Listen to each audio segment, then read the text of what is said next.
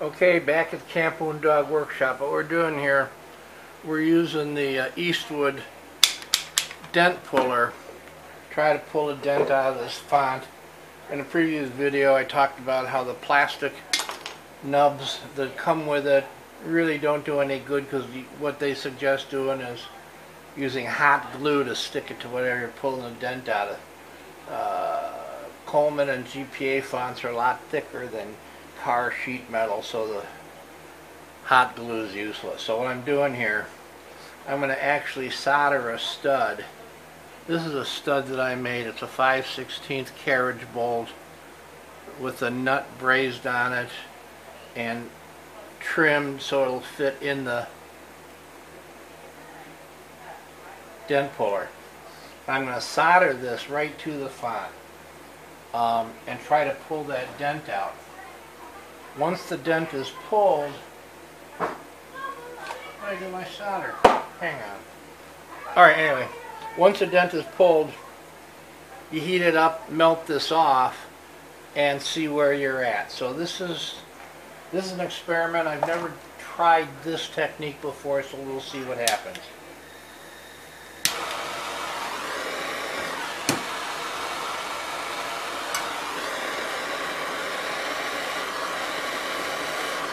Once again, if you're soldering or using any open flame around a font, there may be leftover fumes from the white gas in there, which will blow out and scare the hell out of you. So what I always do is I fill it up with water and dump it a couple times just to get the vapor and any residual gas out.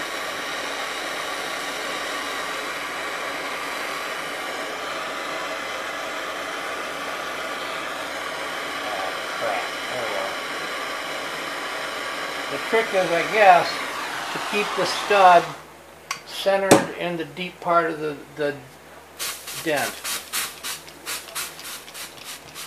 I prefer using Oatey H2O tinning flux. Um, it's water soluble, so it's an easy cleanup. It doesn't have all that greasy crap left over like most petroleum-based uh, fluxes do. Now I'm not so stupid I'm going to pick this up right away and burn myself. So I'm going to let this cool. See, here's the flux, and just with water it just comes off. Nice product. I, I like Oatey stuff. It's really good. All right, here we go. Um, the stud fits in this carrier. Then you tighten it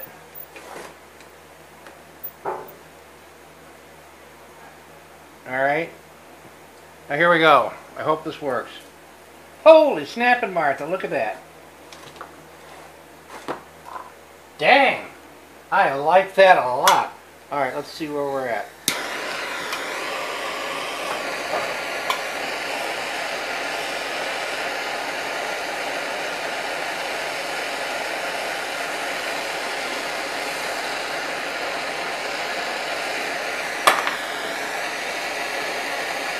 Now if I had some steel wool,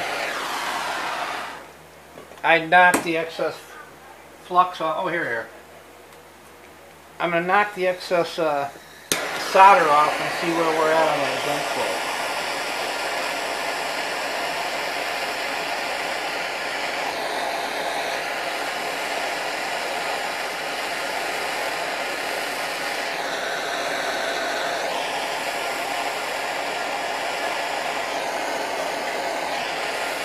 This is coming out pretty decent. Um, now as you can see I've still got a little bit of that dent left. Now well, what Eastwood does is they give you these pull tabs with different size faces on them. So you can start with a big dent and as your dent gets smaller you redo it with a smaller tab. So I guess what I'm going to do now, this is a 5 16 it's ouch, stinking. It's still hot. Ah! All right. I'm going to make another one of these out of a quarter 20 with a smaller pull area to pull the rest of this little dent out. Um, This is my crash test dummy font. I use this in the shop to test everything out before I do it on a customer's font. The whole point of doing this is I got this 242 for Josh um, that has a little dent in it. And before I replate this for him, I want to see if I can massage this dent out. So I'm going to finish with a smaller stud on this, see how good I can get that dent out. If I'm happy with the results, I'm going to pull Josh's dent before we uh, uh, strip and plate it. Alright, that's it, Camp Wounded Dog Workshop. You guys and gals have a good uh, rest of the week. Alright, bye-bye.